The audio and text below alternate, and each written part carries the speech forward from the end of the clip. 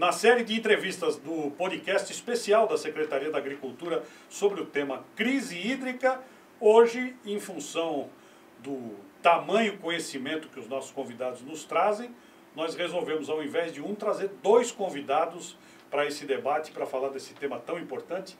Aliás, antes de apresentá-los, agradecer você que tem entrado no canal do YouTube da Secretaria da Agricultura e tem visualizado os nossos primeiros dois programas. Não se esqueça, toda vez que você entrar, o importante é que você se inscreva, acione o sininho para receber um alerta de uma próxima entrevista. Se quiser curtir, um dedinho positivo, ótimo. O dedinho negativo também vale. E embaixo você pode fazer pergunta que depois será enviada aos nossos convidados. Hoje nós estamos recebendo a pesquisadora do Instituto de Zootecnia, Simone Oliveira. Eu dispenso apresentar, porque nós estamos dois homens e uma mulher, né? então não preciso falar aqui ao meu lado esquerdo. E o nosso querido João Demarque, pesquisador também da Secretaria, 35 anos de serviço dedicados ao IZ. Enfim, eles vieram dividir conosco o seu conhecimento, debater sobre uma porção de assuntos, mas sempre tentando ficar centrado no tema da crise hídrica. E vou começar com aquilo que eu fiz com os meus demais colegas que estiveram aqui, nossos colegas, agora, né, nossos colegas, tratando sobre a crise hídrica no geral. Você, Simone, pensa o que é a respeito do que está acontecendo? Esse momento chegaria de qualquer forma? Prejudicamos enquanto isso vai se esticar? Piorará no futuro? Queria conhecer a abrangência geral no teu pensamento e obrigado pela visita. Boa tarde, obrigado. Bom, é, essa crise hídrica é cíclica, né? Ela acontece de tempos em tempos, a gente já passou por outras. Essa especificamente, é, a meu ver, ela é resultado da pandemia. Né? A gente teve um agravamento, por quê? Porque as pessoas ficando em casa, elas consumiram mais água. Ela só não está mais séria porque as indústrias pararam. E agora com a retomada, mais né, a falta de chuva mais o consumo e, é, equivocado que a gente tem, né? essa, essa, relação que nós temos com a água potável é equivocada. Né? Então, se a gente olhar, é, vai acontecendo agravamentos e chega nessa crise. Né? Que, que nós precisamos fazer? Nós precisamos rever principalmente o consumo de água e nossa relação com esse consumo, tanto na parte pecuária quanto na parte urbana né? ou seja, no campo e no lado urbano. Esse é meu ponto de vista sobre essa crise. Muito bem. João, seja bem-vindo, muito obrigado pela visita, obrigado por dividir conhecimentos prévios para que a gente pudesse montar esta pauta e queria saber a sua opinião uh, a respeito, no mesmo tema, de forma abrangente e geral, o que, é que você pensa da crise que é a pior dos últimos 91 anos que vivemos. É um prazer, agradeço a oportunidade. Eu diria que nós temos alguns efeitos associados. O primeiro é essas questões que são climáticas e que são discutíveis até por pontos de vista diferentes, mas na prática nós temos é, períodos de maior disponibilidade. Nós estamos numa, numa, se olhar os dados, nós estamos com uma pluviosidade abaixo do que seria normal. Nós, nós aqui particularmente estamos numa região extremamente densa do ponto de vista populacional, portanto, de alta demanda. Então, a lógica disponibilidade, que já é crítica, fica numa situação dessa ainda mais complicada. Efeitos é, El Ninho, Laninha, são efeitos que se associam a essas é, características aqui da nossa, da nossa bacia em particular aqui dessa região. Eu diria que água é um, é uma, é um assunto que interessa a todos. Acho que é difícil uma pessoa não poder é, compartilhar e discutir esse assunto, porque ele é um, no mínimo ele é um usuário, portanto é essa é, a, o ponto de vista que eu tenho que todos precisam de fato participar das discussões da gestão para a gente poder a, conseguir suplantar essas a, intempéries que nós estamos enfrentando. No caso nosso aqui, particular, região metropolitana de São Paulo, o, o Comitê PCJ, eu diria que as, a, a, nossa situação aqui ainda não é pior né, é, do que foi em 2013, 2014, pela própria transposição do Paraíba do Sul para cá, que foi uma consequência da, da crise de 2013, 2014. Agora, no, na bacia do Paraná como um todo, como você citou inicialmente, é uma das piores crises. E aí os efeitos em termos de transporte, em termos de energia, e todas as consequências dessas alterações são realmente graves. Mas eu diria que, na verdade, é um aponto, um em particular, mas um conjunto de situações que estão nos levando. E que nós vamos ter que agir seriamente para que isso não se repita ou não se agrave nos próximos anos. Uma tempestade perfeita, né? como a gente diz, incluindo isso, calor extremo no meio do inverno, né? seca, é, queimada no Brasil inteiro, quer dizer, nós formamos um, uma tempestade perfeita, lamentavelmente, para todos nós. Sim. Bom, a Simone atua no Instituto de Zootecnia como pesquisadora em Piracicaba e lá um trabalho de pesquisa e desenvolvimento da tecnologia que trata efluentes pecuários e humanos simultaneamente. Eu queria que você falasse um pouco disso, que tem, aliás, tudo a ver com o nosso tema. Então, é, há mais ou menos 13, 14 anos atrás, a Associação Paulista dos Criadores de Suíno procurou a Secretaria da Agricultura e pediu que a Secretaria juntasse o grupo de pesquisadores que trabalhasse com o suíno para desenvolver uma tecnologia ou tecnologias que é, contribuíssem para a redução do impacto ambiental da produção de suínos. Tá? Então formou-se um grupo e foi feita diversas é, viagens para conhecer sistemas e é, na época a pesquisadora Edna Bertoncini, ela conheceu um, um sistema desenvolvido por um zootecnista, o João Luciano, que é dono da empresa JL Tecnologias Ambientais. E daí, é, via um patrocínio ferido dos comitês PCJs, foi levado para Tanquinho, que é uma unidade de pesquisa avançada em suinocultura. Por que suíno, né? porque entre todos os sistemas de produção pecuária, suinocultura, é, os seus efluentes têm uma grande quantidade de nutrientes que causam alto impacto ambiental se jogados diretamente no meio. Tá? Então, nós começamos a trabalhar junto com, com o Luciano e foi desenvolvido e validado o sistema Flotube, que é uma floculação em tubos. Esse sistema, ele tem como diferencial, né? tecnologia toda brasileira e equipamentos paulistas. Então, o custo dele é muito menor. O que, que acontece nesse sistema? Esse sistema a gente faz dois tipos de trabalho. Primeiro, a gente caracterizou, estudou os efluentes, porque cada efluente tem uma característica única e deve ser tratado como único, não dá para tratar tudo igual. Tá? E produz né, é, gás a biogás com alto potencial, uma, uma, alta quantidade de metano, então uma pureza alta, um biogás muito bom. Produz água de reuso, a gente consegue recuperar 70% da água, no mínimo, que entra no sistema e produz biofertilizantes. Tá? Ou seja, né, a gente trabalha com a pecuária sendo produtora de água, diminuindo o impacto ambiental e retornando ou segurando água na onde precisa, né? Então a pecuária ela pode contribuir muito com o quê? Com a redução da crise hídrica. Ah. Bom, ah, em outra frente nós trabalhamos com o quê? Nós estudamos esse efluente e chegamos à conclusão de que a nutrição, os animais, por que, que esse efluente tem uma carga poluidora alta? Porque os animais não aproveitam eh, todos os nutrientes da ração.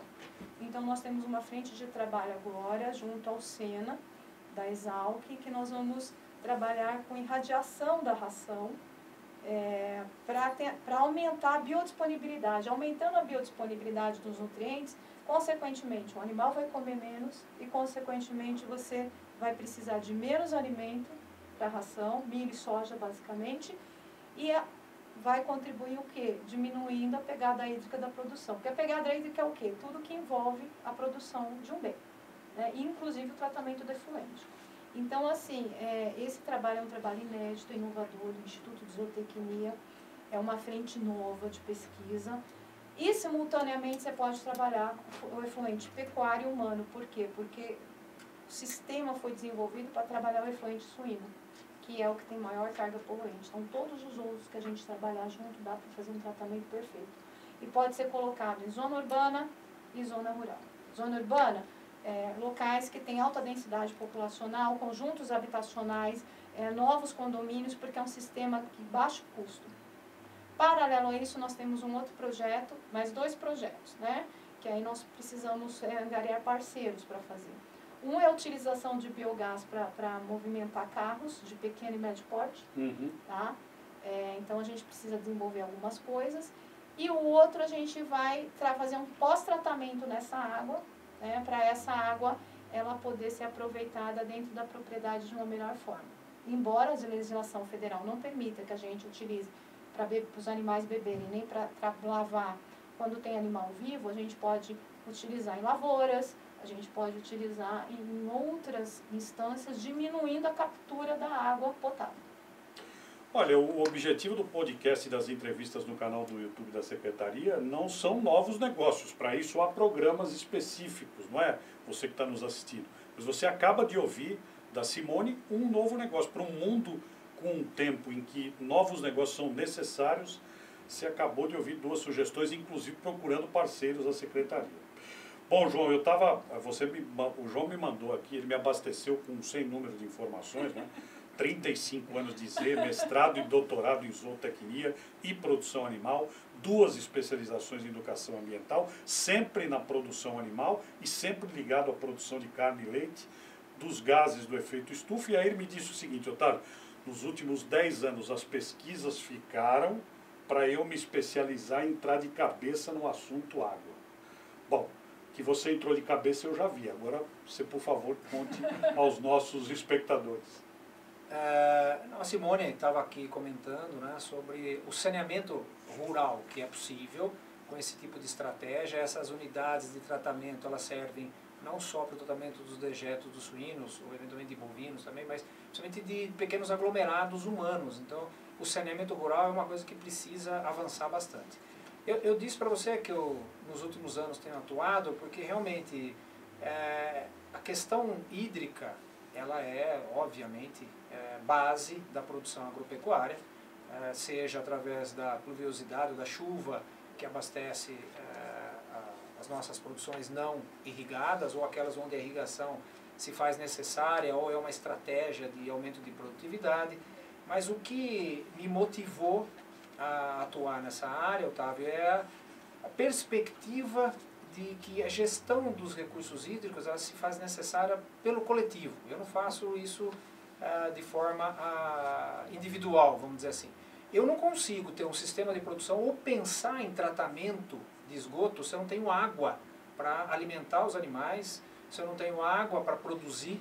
Né? Então, essa ideia de produzir água, que no sentido figurado, obviamente, é de fazer uma boa gestão do território né? e conseguir com que a água que nos está disponível através da chuva seja retida no nosso território. Qual é a unidade de gestão que eu faço isso? É a bacia hidrográfica. Então isso vai além um pouco do município ou da propriedade.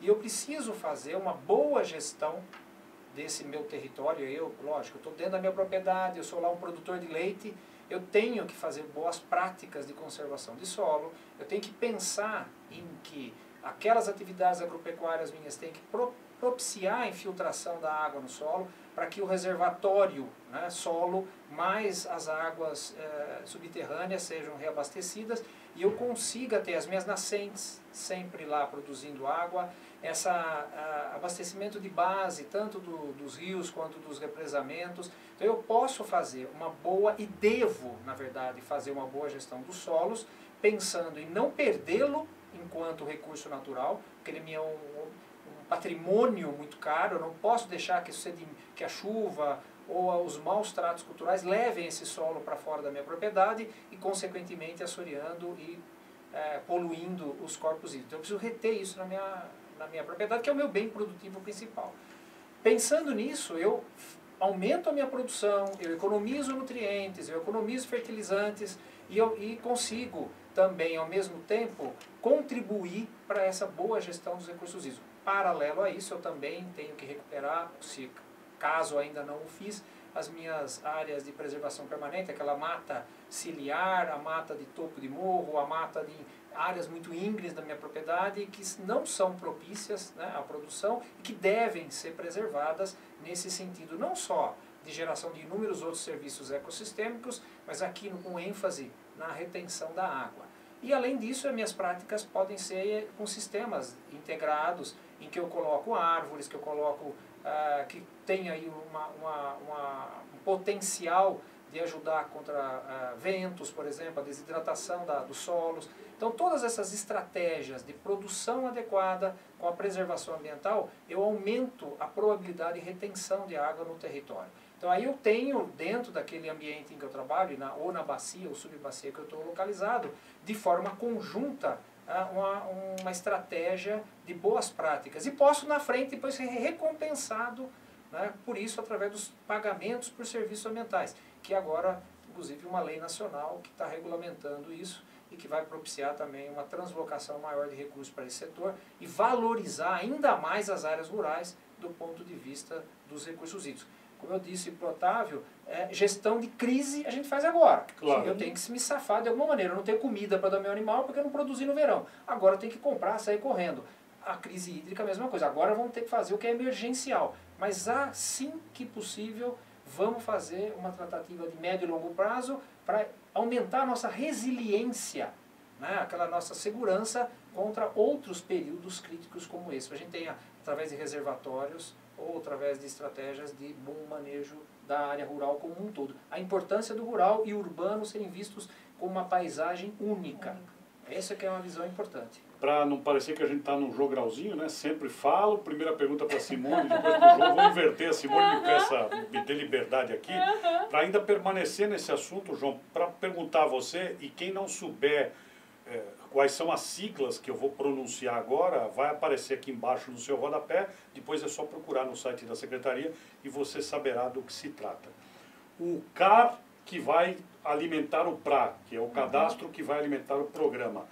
Quanto ele vai ser importante para identificar, porque eu vi a apresentação do sistema satelital que vai mapear as propriedades todas e é uma coisa tão perfeita que vai dizer, olha, você tem tanto de mata ciliar, você tem tanto para recuperar, na tua área está sobrando tanto, você está tanto, é, a tantos metros, a tantos quilômetros da beira de rio. Quanto isso vai ser importante para isso que você acabou de dizer? É, sem dúvida. O CAR ele é uma fotografia né, da minha atual da minha propriedade. Então eu identifico nesse momento qual é a minha adequação ou não às, ao regramento legal que nós temos. Então é, a ideia que tanto os comitês fazem isso como sua estratégia de investimento no território, quanto a legislação do Código Florestal nos cobra, é essa, esse olhar para a minha propriedade, a identificação desse, desse território em que pelas leis, eu sou obrigado a preservar com mata, com floresta, aqueles que eu não devo produzir porque não são adequados para isso, ou por uh, estar em topo de morro ou numa área muito íngreme, dentro de, lógico, cada região da, da unidade é, que eu tenho, eu tenho um percentual, uma metragem adequada lá para restauração. Então, o CAR, na verdade, ele é um, essa fotografia, esse diagnóstico inicial estratégico. Eu estou fazendo um planejamento, um projeto da minha propriedade para poder avançar através de um plano de recuperação ambiental, que é o PRA. Aí eu sei que eu tenho um período, eu sei o que eu tenho que fazer e quanto tempo eu vou ter para me adequar eh, do ponto de vista da legislação ambiental. Mas o que, que eu acho que é muito importante para o produtor entender? Que isso não pode ser entendido só como uma obrigação legal mas na verdade com uma estratégia de ganhos também para a própria propriedade, em termos dos serviços que esse, é, é, esse investimento na área ambiental pode trazer, quanto esses benefícios mais amplos regionais que podem ser transformados inclusive em turismo, pode ser transformado em produtos diferenciados, que podem ser transformados em serviços ecossistêmicos, inclusive um recebimento financeiro em espécie ou não por esses serviços. E pode conservar a água da sua propriedade, sem dúvida, nascentes. É, e esse conjunto de propriedades numa bacia, trabalhando de forma conjunta, é que vai garantir ou nos dar uma segurança de que no futuro nós passaremos, pelo menos, ou não passaremos por situações tão críticas como nós estamos. Esse gerenciamento global é a ideia de, de trabalhar juntos. Todo mundo tem que estar tá, é, com a crise e depois com a gestão dos recursos hídricos. Um trabalho integrado. Bom, para você conhecer mais deste, deste sistema e deste programa, o CAR e o PRA, eu recomendo que você navegue pelo site da Secretaria. Vai aparecer aí embaixo já já novamente o que querem dizer as duas siglas para que você possa pesquisar e olhar porque realmente é um projeto muito avançado. Simone, é, para não deixar só elogio o João, né, também a Simone me abasteceu de um riquíssimo material que eu tive a oportunidade de ler, e aí, em determinado momento, que você falou agora há pouco de biogás, e a gente sabe que para as pessoas técnicas o assunto, obviamente, é um prato cheio. Mas para quem está assistindo, querendo aprender alguma coisa, a pessoa importa-se realmente na ponta quando mexe diretamente no seu bolso. E aí eu fui ver dentro do seu material e encontro lá uma relação do biogás vindo dos dejetos dos suínos relativos aos botijões de gás que uma família usa em casa. Uhum. Quando eu me deparei com aquilo, eu falei, puxa, esse aqui é um assunto que não pode faltar. Eu queria que você, de maneira, claro, bem, que, bem sucinta, pudesse explicar. Esse é um dos trabalhos que a pesquisadora Simone me enviou e que ela vai contar para nós agora. É, a gente trabalha, o nosso slogan, nós temos uma equipe multidisciplinar e interinstitucional. Né? Então, nós temos membros da, da USP, nós temos membros da Faculdade de Tecnologia do Estado, da FATEC, é, nós temos membros da iniciativa privada e do Instituto de Zootecnia. O nosso lema é transformando o passivo ambiental em ativo financeiro. Que, aliás, é um ótimo é, lema. Que é o quê? É, nada mais é que não enxergar o passivo ambiental efluente como uh, um rejeito, mas sim como uma recuperação financeira para o produtor. Então, se o produtor tiver um sistema de tratamento, o que, que vai acontecer? Ele não precisa cobrar mais caro pelo produto, mas ele vai ter um produto diferenciado que no futuro pode adquirir um selo verde. Tá? Por quê? Porque esse produto, ele se adequa, como o João falou, é um sistema, né? um sistema de produção de proteína animal integrado. É, e vegetal também. Tá? Então, ele se adequa, coloca na propriedade, no, em vez de ser extratora, de ser devolutora ou produtora ou recuperadora de, de recursos naturais. O biogás produzido, ele é um biogás é, muito bom, né? que, que, em termos absolutos, vamos falar assim, a bioenergia produzida, ela pode ser utilizada dentro da propriedade, tá? Para ter uma ideia, 60 metros cúbicos de, de biometano, mil matrizes vão produzir praticamente é, três vezes esse volume por dia, mas 60 metros cúbicos de, de biometano dá para produzir 50, 5 toneladas, de 5 a 50 toneladas de ração por dia. Tá? É, dá para alimentar uma granja inteira de, de mil matrizes. Né? Com um gerador com custo baixo. Tá? Se quiser jogar na rede, pode. Pode vender para a rede. Então, é uma outra fonte. E se quiser utilizar em caminhões, né, nós temos já duas grandes empresas que já estão fazendo caminhões movidos a biodiesel. Já está no Brasil, Trator. É, e nós temos o projeto de, de utilizar isso em veículos de pequeno porte. É, a baixo custo, com tecnologia nacional. Então, tudo isso, o que, que quer dizer? Né? Para ter ideia, só o número de matrizes do estado de São Paulo, se a gente pegar né, a principal região produtora ali, a região de Campinas, Bragança, é, as matrizes alojadas ali alimentariam é, todos o município de Campinas por praticamente um ano com botijões de gás. Meu Deus. Porque, assim, é, uma matriz, a gente fala uma matriz ciclo completo, que, que, é uma, que, que vale o quê? É uma matriz mais 10 leitões. Né? Então, se a gente colocar aí mil matrizes, é, cada matriz produz 150 litros de efluente por dia. Tá? Você faz vezes 365 dias. Estão números E aí, quando a gente começa a colocar isso em, em, dinheiro, a gente vê que é muito. Além do que, além do que, a gente trabalha com a mitigação de gases do efeito estufa. O metano, ele é 21 vezes mais deletério do que o, o, gás, o CO2 para o efeito né, estufa, para chuva ácida. Então, a gente começa a mitigar todos esses gases. Então, a gente tem, assim, um ganho muito grande, como o João fala, é um sistema. Né? É um sistema a crise hídrica não está sozinha, vem a crise energética, está aí bandeira 2, está aí é, cobrança maior, a gente sabe disso. Por quê? Porque o Brasil precisa, é, dependente das hidrelétricas. Se nós não temos água, nós temos menor produção de energia, a energia fica mais cara. E a gente sabe o seguinte, né, que pro, é, crise energética e crise hídrica é um grande problema para o desenvolvimento do país para cada cidadão. Todo mundo é afetado, não tem uma única pessoa que não vai ser afetada. É, então é assim, a gente enxerga o sistema como um todo. É um sistema, é um todo, e vários, a, a, como ele falou, o ambiente rural e urbano tem que ser visto como único. E o ambiente rural, ele hoje tem um alto potencial de ajudar segurando a água, né, retendo essa água no solo, trazendo de volta para os corpos hídricos, né, porque a gente tem muito que trabalhar e muito a fornecer. Beleza. João, a gente estava conversando e você me falou sobre a crise hídrica de 2013 e 2014, que você participou de alguma forma, eu também, né, me lembro da CPI aqui em São Paulo, eu trabalhava, inclusive produzi um relatório em paralelo à CPI, que naquela época, paz, meus senhores, queria cancelar o contrato da cidade de São Paulo com a Sabesp, né? Não sei na cabeça de quem podia passar aquilo, ainda bem que esse assunto passou com o relatório que eu tive a oportunidade de escrever. Você acha que a crise de agora é pior do que a 2013 e 2014? Você faz uma relação entre as duas? Esse período foi exatamente quando eu comecei a representar o Instituto e a Secretaria nos comitês de bacias, né? no caso aqui Piracicaba, Capivari, Jundiaí, o PCJ. Aquela crise foi pior até o momento, ela é pior do que o que nós estamos vivenciando no nosso território PCJ.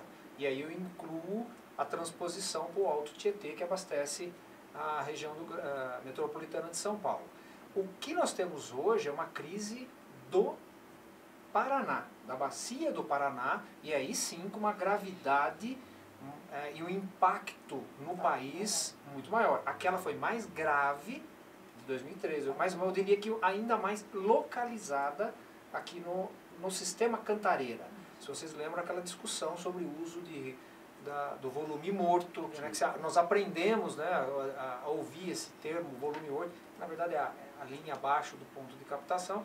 Esse volume morto foi, inclusive, utilizado em parte para abastecimento. Dessa experiência de 2013 e 2014 surgiu a transposição do rio Paraíba do Sul para o reservatório ali de Atibainha. Então, lá do, do reservatório, no, no outro comitê, né, do CEIVAP, nós temos hoje uma uma transposição de água e que tem mantido um dos nossos reservatórios no nível mais elevado. E eu diria que hoje nós temos uma certa segurança de afirmar que nós vamos passar por esse ano. Alguns, muitos, ou diria até muitos municípios já têm uma, uma estratégia de racionamento, porque é lógico que não é o Cantareira que, que abastece, abastece todos os 75 municípios do PCJ e região metropolitana de São Paulo. Tem então, por exemplo, tem alguns municípios que estão ali na, na bacia do Jundiaí, do Capivari, do Capivari, que já tem um racionamento muito mais intenso. Então, eu diria assim, são crises diferentes. Para nós, eu estou imaginando que, enquanto representante do IZ, lá nos comitês, nós estamos discutindo o ano que vem. Se nós não nos preocuparmos, não começarmos a aumentar a nossa eficiência do uso da água tratada, se nós não nos esmerarmos no, no, no manejo da, dos solos de modo geral, dessa questão da impermeabilização do nosso território, é, são várias estratégias, a própria construção dos dois reservatórios agora de Pedreiro e Duas Pontas, que são estratégias de segurar, de reter a água na bacia, nós vamos ter problemas em 2022 2023. Mais localizado no nosso território, vamos bem entender, a bacia dos rios Piracicaba, Capivari e Jundiaí. Então são crises diferentes. Lógico que hoje o impacto é maior, porque ela também é uma crise muito mais energética, aquela foi mais hídrica.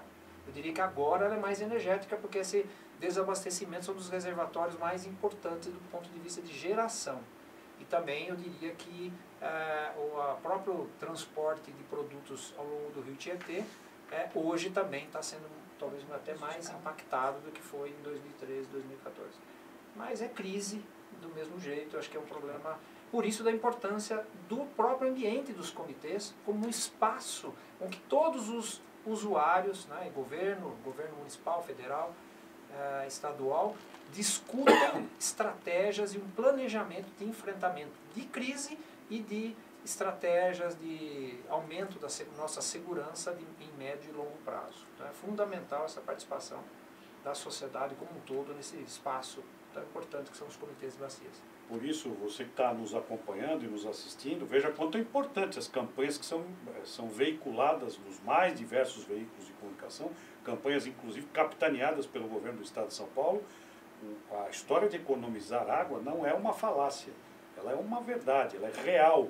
Portanto, vai lavar a louça, fecha a sua torneira, ensaboe seus pratos, depois abre a torneira, banho, ligou, molhou, fechou, ensaboou, abre de novo. Faça atitudes simples aí na sua casa, como por exemplo ter uma reservação, eu tenho em casa, num tambor grande de água da chuva, quando chover, obviamente. Isso não é muito difícil. Nós não queremos que você construa uma usina na sua casa, mas existem formas de você poupar, economizar e aproveitar dos recursos naturais. Simone, tá, é, ainda voltando ao biometano e o adubo, em determinado momento você me mandou a informação que para produzir ambos ainda se recupera 75% da água do sistema. Queria que você especificasse mais isso. Uh, o efluente, ele sai... Uh, porque assim, o que, que é o efluente? Né? São as fezes, urina, mais água de lavagem. Tá? Então, na produção animal, a gente utiliza muita água de lavagem para os animais. Né? E esse efluente ele sai líquido. Aí a gente precisa separar o sólido do líquido. Nessa separação você já faz um, uma compostagem desse sólido. O líquido vai para o biodigestor. No biodigestor é produzido metano, né? o biometano. É... Depois disso tem um sistema de, de, de floculação, onde a gente retira o lodo. Esse lodo também é outro biofertilizante. Tá? Tirando todo, o é, que, que é isso? Né? São nutrientes que estavam na ração que o animal não aproveitou. Tá? Então é riquíssimo em que? Em, em é, fósforo, potássio, nitrogênio, que são essenciais para a planta. Né? E ali fica a água sem esses nutrientes. Então que a gente deixa uma água praticamente é, limpa. Né? O sistema ele retira até 95% da carga poluidora. Então, essa água que está ali, ela pode ser é, utilizada em irrigação, fruticultura, em irrigação, produção de milho, produção de soja, produção de café, tá? jardinagem, lavagem de calçadas, banheiros, Quer dizer, tudo aquilo que não vai ter um, um, um alimento que vai ser consumido em natura. É, então, é, as, as hortaliças não podem. Tá? A fruta, se você trabalhar determinados pontos, você também não pode molhar a, a fruta em si. Mas é uma água que é retida na propriedade. O, o que o João abordou é muito interessante. Se a gente tiver muita chuva também, qual é a capacidade que a gente tem de retenção dessa chuva? Né? O que você falou, do, a gente começou falando disso, consumo consciente.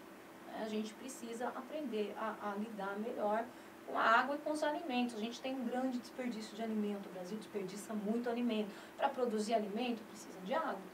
Então, isso tudo vai nos levar a refletir e trabalhar numa gestão de consumo também, aliada às práticas que a gente vem discutindo dentro dos comitês. Eu, junto com o João, também faço parte do, do, do comitê né, da, de, de, de, grupos de trabalho, onde a gente discute muito no meio rural e no meio urbano simultaneamente. Tá? Então, é assim, é, é um sistema diferenciado. Existem outros sistemas de tratamento tão bom quanto. Eu falo que, que o sistema de tratamento deve ser igual um carro. Né? Você tem que ter uma, uma variedade e você se sentir à vontade de escolher um outro em função do benefício que ele vai te trazer. Tá? E é isso que a gente tem. A gente tem a produção de energia, porque como foi dito, a gente está numa crise hídrica e numa crise energética. Né? E a gente ainda tem um, adubo de excelente qualidade que fica no sistema. Então, na verdade, o que, que promove para o produtor? Recuperação do investimento, porque produzir animal é muito caro. Tá? Produzir carne, produzir é, é, hortaliças, legumes, tudo é muito caro hoje. Tá? Não, não é nada fácil. A suinocultura no Brasil é uma das melhores do mundo, ela é extremamente especializada.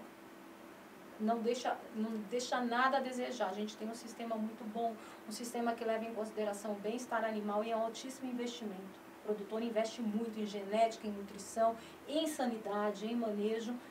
E é, você poder ainda recuperar parte disso em algo que seria perdido, realmente é transformar. O Brasil ele, ele é riquíssimo em passivos ambientais, que na verdade são ativos financeiros. Né?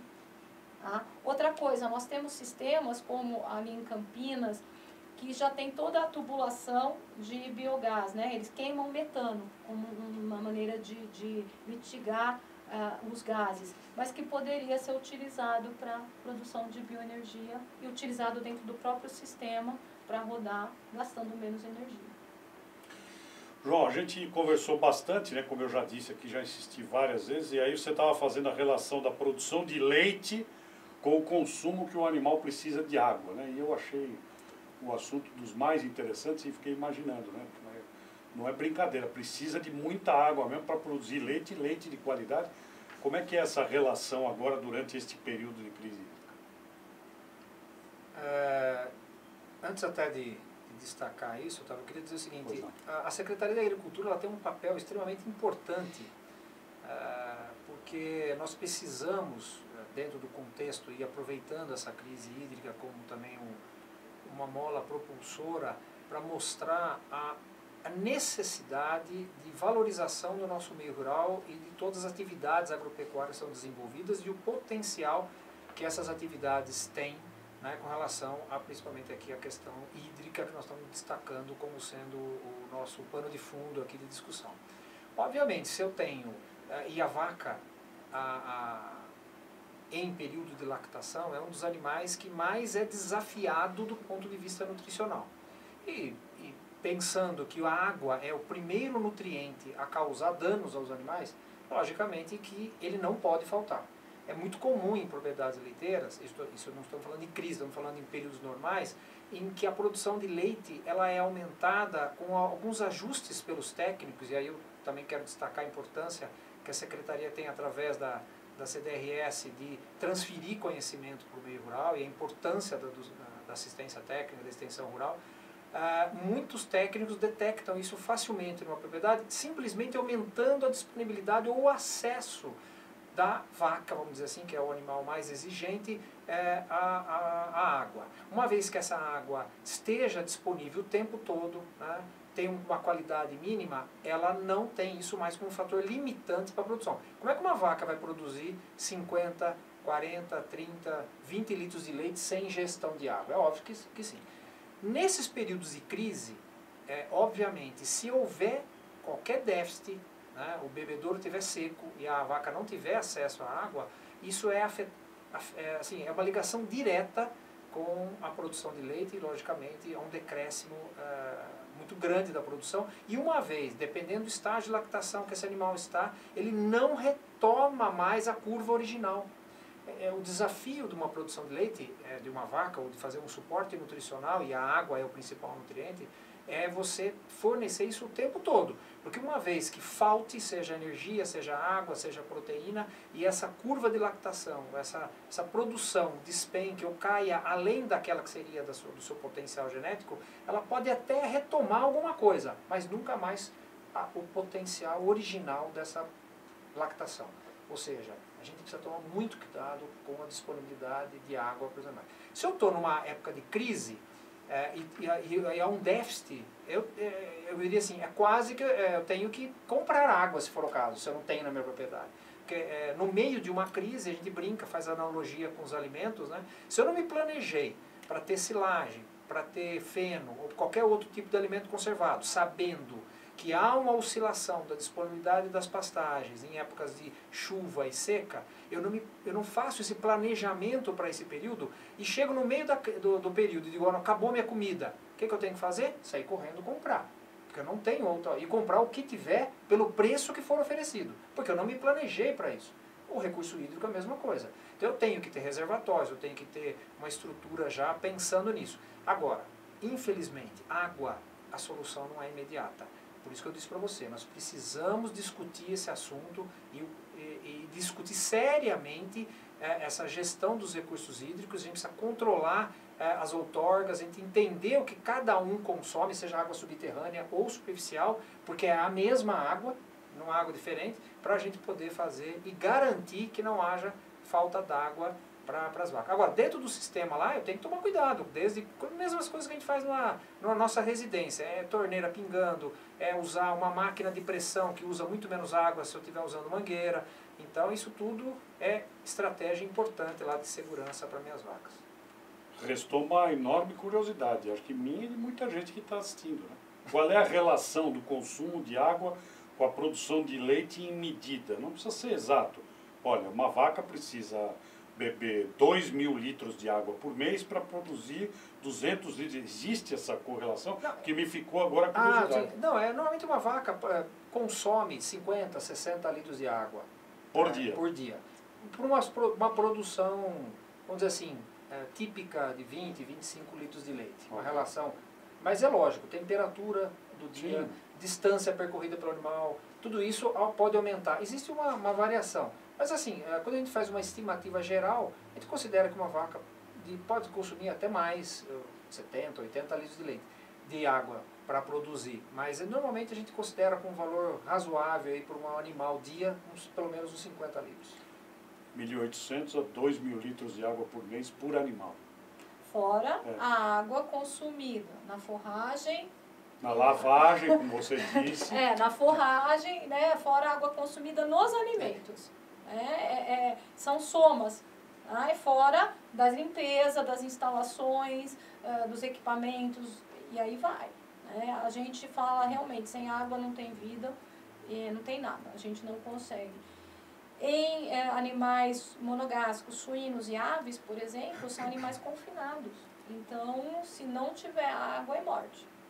Tá? E, e, e suíno ele tem uma característica, né? Porque ele não tem glândula sudorípara suficiente, são pouquíssimas. E aí o animal, quando ele está com calor, ele bate a mão ou o focinho no bebedouro para Uhum. jorrar água para ele deitar. E os suínos, quanto é a relação? Da vaca a gente já sabe, mais ou menos 2 mil litros por mês. Olha, Os suínos é, que estão o- os confinados? suínos, eu vou dizer que a gente fez uma primeira medição, ah, um animal em terminação gasta de 10 a 15 litros de água por dia durante um, um- um período aí de, de 100 dias, vamos botar assim, tá? Um animal. Então, é, a gente sabe que existe algumas contas internacionais para pegada hídrica, né, que é a produção do leite, da carne, mas que eu digo que não condizem muito com a realidade brasileira, porque a gente tem um sistema um pouco diferenciado, isso é feito mais em, em animal totalmente confinado, e o Brasil a gente tem uma, uma diversidade muito grande em sistemas, assim, né, não é tão, tão estanque as coisas, mas é, é muita água, é muita água. E no calor aumenta, né, na época seca aumenta, e, e os animais eles não é como a gente, né? É difícil você ter uma vida normal, saudável, produtiva, se você não consumir o mínimo de água necessário Sim, para todas as atividades, né? E, e o animal, como no caso de aves e suínos, que eles estão é, fechados em galpões, confinados, mesmo os que têm acesso a piquete, são animais que ficam mais em grupos, né?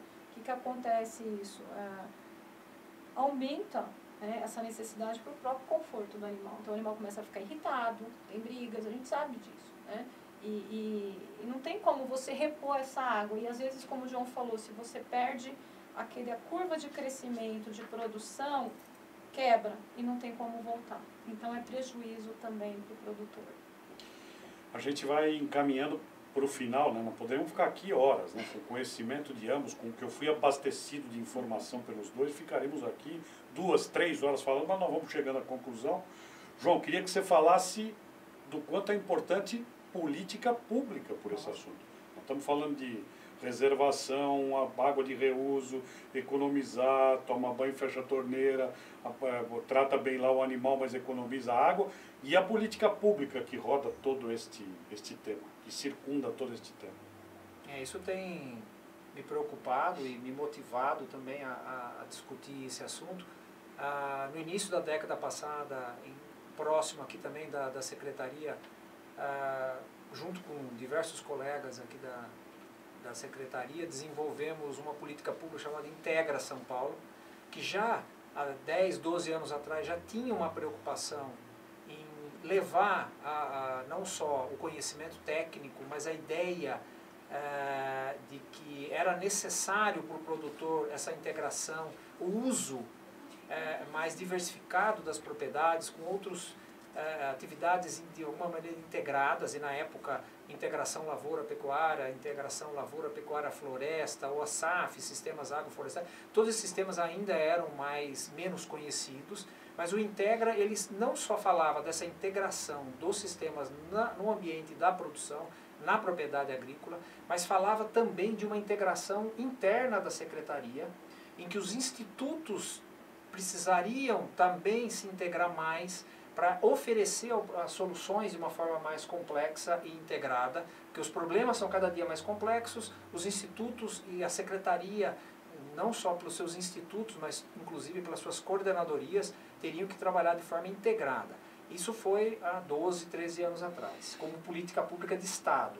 E, e, e agora, mais recentemente, nos últimos anos, base, inclusive é, motivado pela crise de 2013-14, essa visão né, de que eu preciso enxergar o, toda a complexidade do ambiente que nós vivemos, não dá para solucionar os problemas da crise ou das próximas ou dessa crise só olhando para a área urbana, só olhando para a parte rural, ou só olhando para a atividade agrícola, ou só atividade industrial, ou só economizando água em casa, fechando torneira, tomando banho. É uma, na verdade, a gente precisa fazer a boa gestão. A gente só faz boa gestão daquilo que a gente controla, que a gente sabe o que é. Então, Desde o, por que a gente tem o hidrômetro em casa? Para saber, o, o, lógico, tem lá um controle do consumo e de quanto eu vou dispor financeiramente para manter esse consumo. Os, em todas as nossas atividades. Todos os usuários precisam, isso a gente chama de outorga, aquilo que você pode usufruir da água que você pode consumir. Se eu conheço dentro de um território o que todo mundo consome, o que todo mundo demanda, eu consigo fazer gestão. E aí criar uma política pública ou políticas públicas, sejam elas municipais, estaduais, que façam com que toda a sociedade como um todo se enxergue dentro desse contexto e participe dessa uh, divisão igualitária desse recurso tão importante. Seja abastecimento urbano, como é na nossa região aqui, 70%, 75% do nosso território é para abastecimento urbano é, e industrial, diferente da maioria das regiões em que 70% a 75% é para irrigação, é para a produção agropecuária. Então a gente tem, mas de qualquer maneira, somos todos usuários, precisamos. E porque a, demanda, a disponibilidade é a demanda com o consumo. E o que está acontecendo na nossa região? Só está aumentando o consumo e uma demanda cada dia pior até por questões. A gente não precisa nem entrar em discussão se, se é o aquecimento global ou se não é, se é uma ação antrópica ou não. A realidade é que os eventos são cada dia mais erráticos, são mais extremos, seja por seca ou seja por grandes volumes de chuva. Como é que eu me adapto a essa situação? Essa é o desafio que a gente tem, para poder reter isso, para segurar, para enfrentar esses desafios dessas discrepâncias em termos de disponibilidade hídrica, não só temporal quanto territorial, para poder fazer, seja com grandes investimentos e alguns reservatórios que ainda se fazem necessários, ou a boa gestão, principalmente de todo o território nosso em termos de solos, para que o, toda essa área, assim, territorial, rural, seja um grande reservatório que possa aumentar a nossa retenção de água aqui e que essa água não vá lá para a Argentina, que fique aqui, é. para que a gente possa fazer o uso local. Porque aí vai se deslocar a indústria, vai se deslocar, todo mundo foge de um local onde a gente não tem disponibilidade hídrica. É uma coisa impeditiva. Então, acho que políticas públicas são, de fato, e comunicação, eu diria. Essas políticas públicas precisam de muita comunicação. Nós precisamos trabalhar em todos os âmbitos. É o que nós estamos fazendo. Você quer completar alguma coisa sobre o que ele estava falando? É, eu, eu diria o seguinte, né, o governo tem um papel fundamental, a Secretaria da Agricultura tem atuado muito, a, a pesquisa, hoje é inconcebível fazer uma pesquisa sem você olhar o impacto ambiental e o consumo de água é, e o que ela vai produzir para a sociedade. Então, é, como o João falou, né, a gente tem que fazer uma gestão do todo. Não é só uma parte, não é só outra. E considerar que aumentando a população vai aumentar a demanda né, de água e de energia. Então não tem só como a gente fazer isso em casa, só no campo, só no meio urbano. A gente sim sabe que o campo pode ser um grande reservatório de água, é, como é de certa forma e pode ser mais, políticas públicas e linhas de financiamento são fundamentais para que isso se torne efetivo e a gente reduza, minimize ou trabalhe de maneira diferente esses impactos é, que vêm ao longo do, desse desafio que é o crescimento consciente e equilibrado da sociedade. Infelizmente chegamos ao final. Queria agradecer muito a sua presença. Se você Obrigada. quiser deixar o endereço do site, vai aparecer quando você falar aí, onde as pessoas podem ir lá conhecer a unidade de tanquinho, como você mesmo disse, lá em Piracicaba, por favor. É, no site do IZ tem todas as informações. Que é www. w.iz.sp.gov.br. É, inclusive tem é, é, os nossos contatos, a gente está à disposição, a gente está aberto e que venham e que a sociedade se apodere dessas, é, desse conhecimento para que a gente caminhe todos para um futuro mais suave, mais doce. João, obrigado pela sua presença. O site é o mesmo, né? O site, O site é o mesmo. o site é o Ele mesmo. vai aparecer de novo aí. Não preciso repetir, nós estamos lá no Centro de Pesquisa em Bovinos Leiteiros, estamos trabalhando seriamente para poder transformar aquela unidade também numa unidade demonstrativa em termos de gestão de recursos hídricos. Eh, nós temos ali uma caracterização, o IZ é uma fazenda dentro de um centro urbano, então nós temos ali uma microbacia que pode se transformar numa unidade experimental ou demonstrativa muito interessante para fazer comunicação, educação.